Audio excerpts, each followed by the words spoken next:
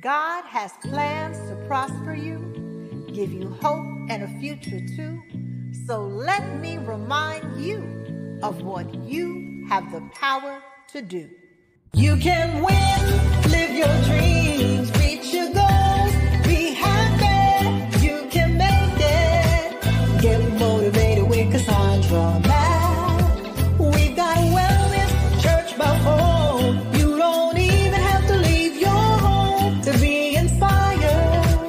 rise a little higher with Cassandra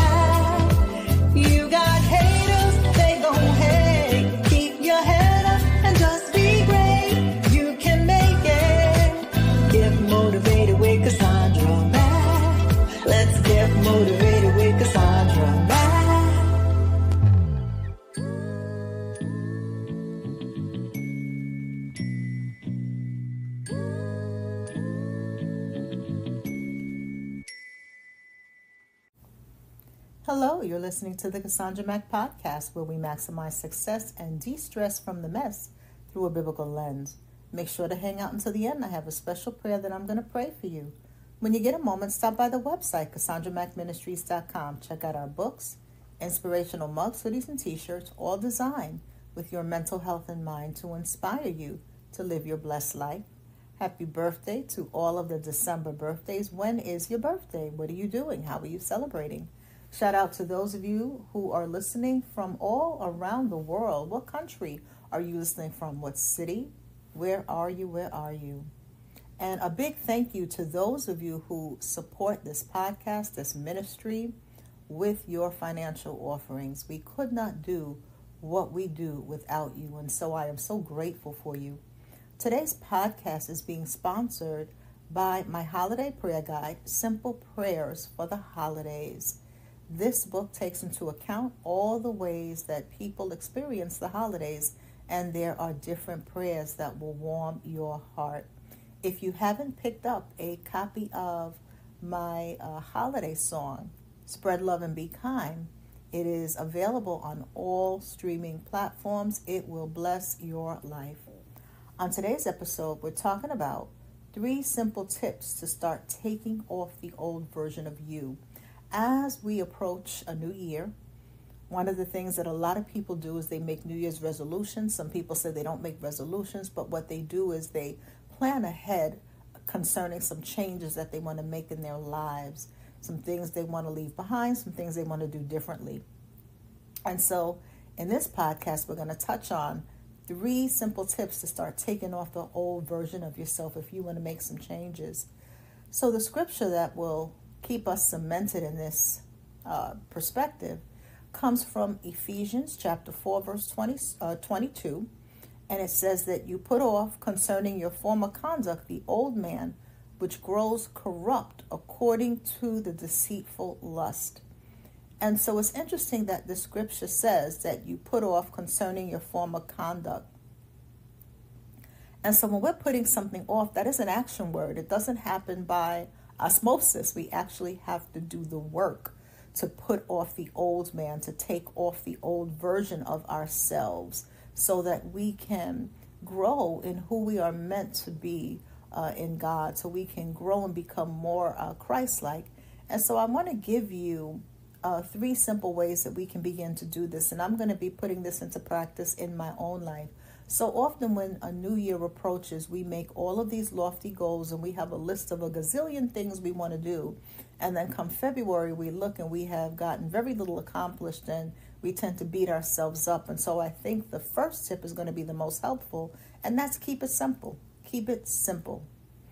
You know, it's difficult to change a habit because that behavior has become so deeply ingrained in our lives that it is not only automatic but it tends to be our first response. It's easy.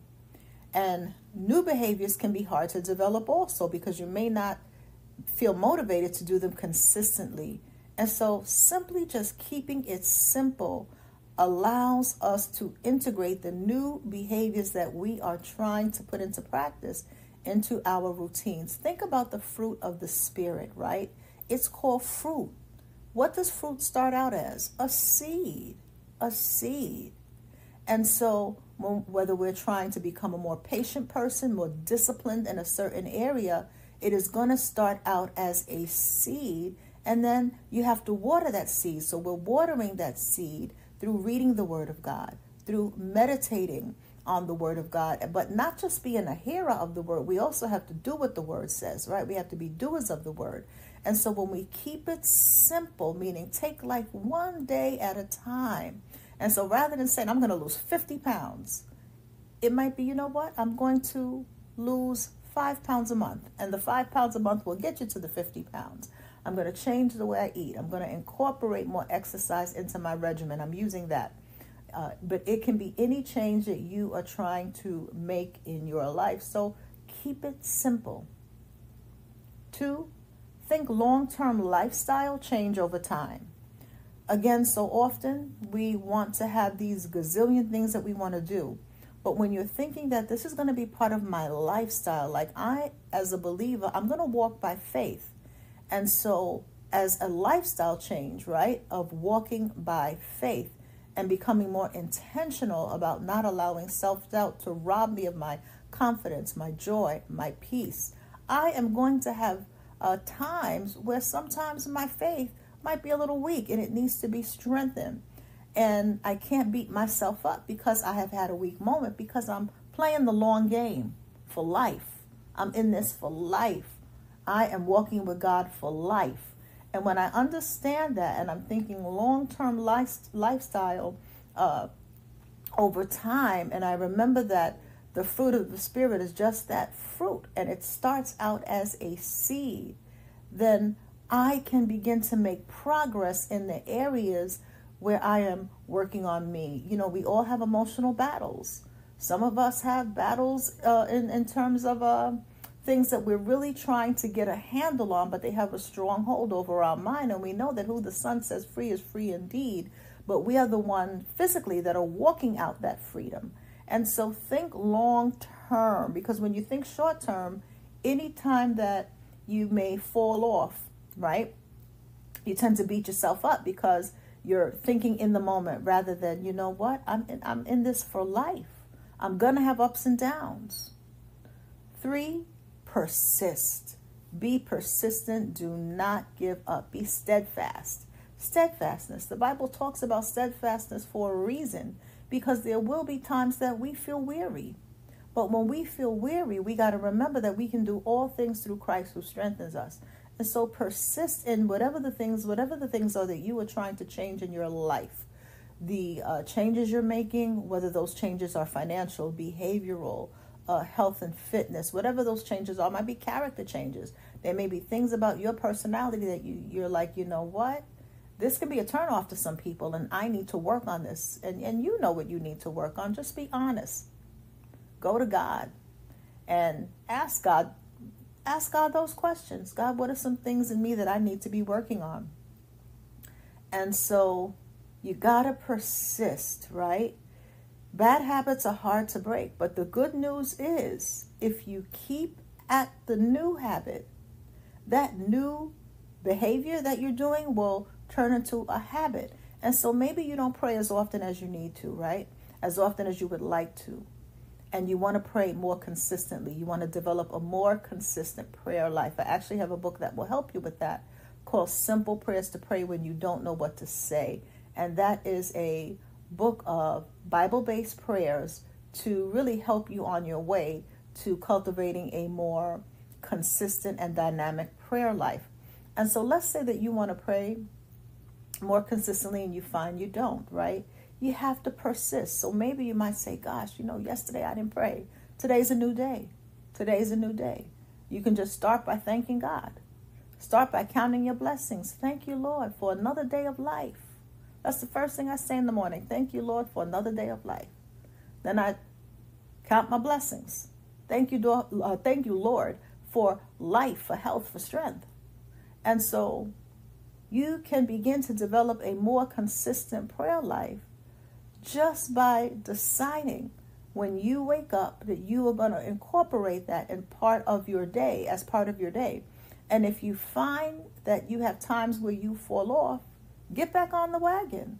Don't stay stuck. Don't stay there and say, wow, because I didn't pray yesterday, I'm not going to pray for the rest of the week. That's not, that doesn't make any sense, right? If you were trying to eat better and you fell off your eating plan, you're not going to say, okay, because I fell off my eating plan, I'm going to eat five cakes every day for the rest of my life. No, you were going to say, okay, yesterday, hey, I had the cheesecake. Today is a new day. Let's start over.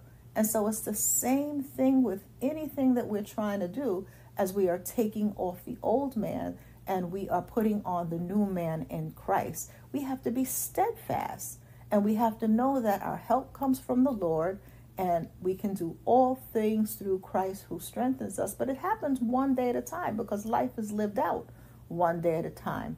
And so I hope that that helps you, whatever your goals are, whatever the things are that you want to accomplish in the new year. And in the comments section, what are some of your goals? What is one thing that you want to do so you can take off the old man and begin to move into a, a newer version of you? And so, if you would like to dive deeper into Bible based mental well being, personal development, Bible based self growth uh, topics, I would strongly encourage you to become a member of the Cassandra Mack YouTube channel. If you are a member at the second tier or higher, you get access to our Wednesday Wellness Club, and it is cheaper than therapy. Our Wednesday Wellness Club is a therapeutic group that meets twice a month by conference call, and we focus on mental self care, emotional well being, mental well being through a biblical lens. And if you would like to make the investment in your self care, your mental well being, it is an investment that is a uh, that is wise. You also get access uh, to our church by phone replays as a member. So, of course, the live church by phone service is always free, always available to the public. But sometimes there are things that are said during the church by phone service, and you want to listen to them over and over and over and over again. Because the way that we build a skill is through repetition. Repetition is the mother of skill. So you may want to be able to have access to that. So that comes with being a member of the YouTube channel at the second tier or higher. And there's so much more. So if you're interested in finding out more about becoming a member, uh, you can go to the website, CassandraMackMinistries.com, click on the link that says membership, follow the prompts from there. If you're listening from YouTube, you'll see a link that says uh, become a member. Click on the link and you'll see that there are three levels of membership. But if you want access to the Wednesday Wellness Club and the replays, then you need to be a member at the second tier or higher. And I would also encourage you to pick up one of my books.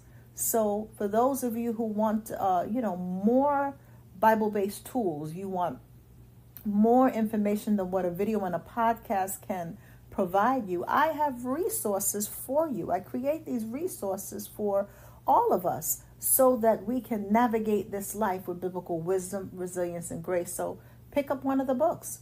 There is uh, Simple Prayers to Pray When You Don't Know What to Say. Uh, again, that's a book that will help you to develop a consistent, a more consistent prayer life. If you are struggling in the area of confidence, or if you have teenagers or young adults who struggle in the area of confidence, pick up the book, Speaking Life into Your I Am. That is a book that takes scriptures that speak to our identity as children of the Most High God, and then it shows you how to affirm those scriptures in your life personally so that you are showing up as that person. So when we say scriptures like, I'm fearfully and wonderfully made, how would it look like if you affirm that, if you were walking through life as a person who truly believes that? So many people who have this particular book, Speaking Life into Your I Am, say that they keep this book along with their Bible. They read their Bible first thing in the morning, and then they go to Speaking Life into Your I Am for the lesson on how to actually activate that particular scripture that speaks to identity in their lives. So you won't be disappointed. So, those are just some of the ways that you can dive deeper. If our ministry has been a blessing to you, consider giving a financial offering. Every bit helps. We thank those of you who support the ministry with your finances. We couldn't do what we do without you. For more inspirational tips, tools, and teachings, again, you're always invited to join me live by phone for our church by phone service. You can find out more at the website, CassandraMackMinistries.com. You can become a member of the YouTube channel and you can pick up one of our resources. So let's make sure that we end our podcast with a prayer. Dear Father God, in the name of Jesus, before we ask anything of you, we just thank you for life. We thank you for health. We thank you for strength. As we begin to close out this year and enter into a new year, we ask that you help us to take off the old man and put on the new man.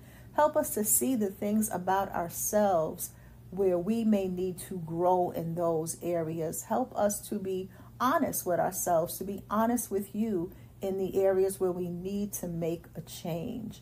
Help us to walk into the abundant life that is available for us through Christ.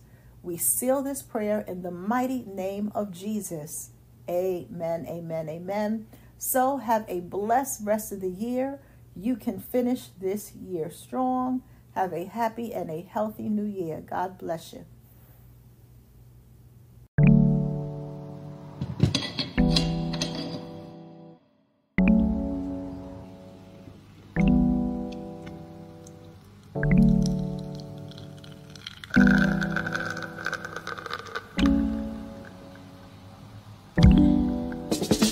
Welcome to A Sip of Scripture, collection of bite sized Bible verse songs for meditation and relaxation with yours truly, Cassandra Mack. For many of us, our lives are so busy and hectic that we don't get our devotional time in like we should.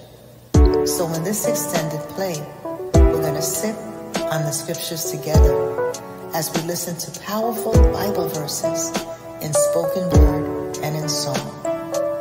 The Bible says, make a joyful noise, serve the Lord with gladness, come before his presence with singing. And that's exactly what we're going to do here.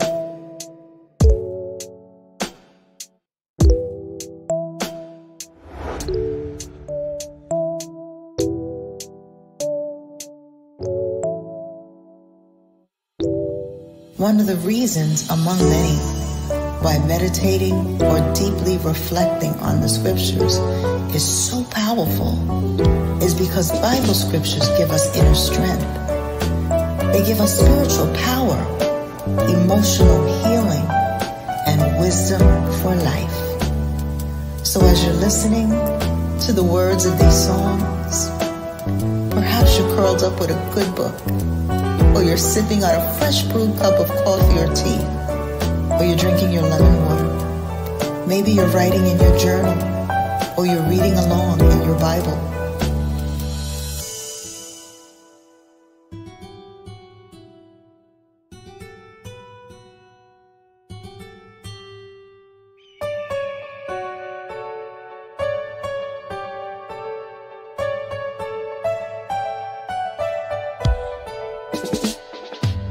You might be driving in your car or cozied up under the covers. Or you might be looking out the window, daydreaming. Wherever you are and whatever you're doing right in this moment, my prayer for you is that you allow the words in these simple Bible meditation songs to give you strength, comfort, power, and to soothe your soul. Sit back, relax, and enjoy.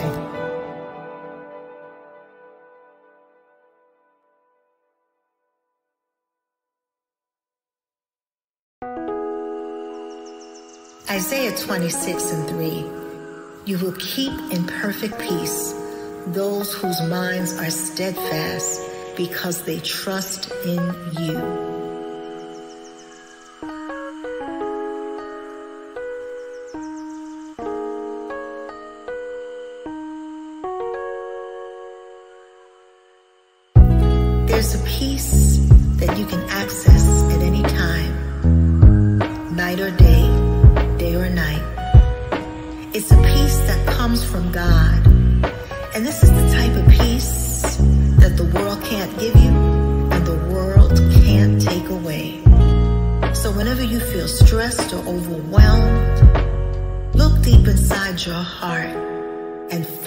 That peace that only God can give you. It's already inside of you. You give me perfect peace like a sunny day. You give me perfect peace like the summer rain. You give me perfect peace like the blue sky. You give me perfect peace like a butterfly.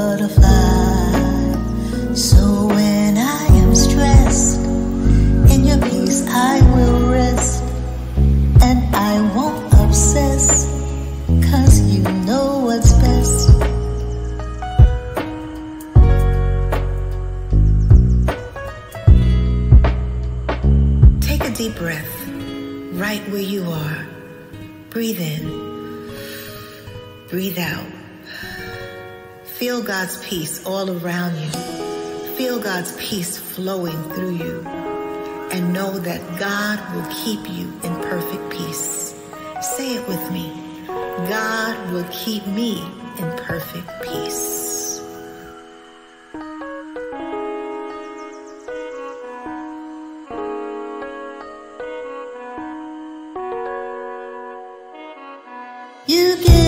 Perfect peace like a sunny day. You give me perfect peace like the summer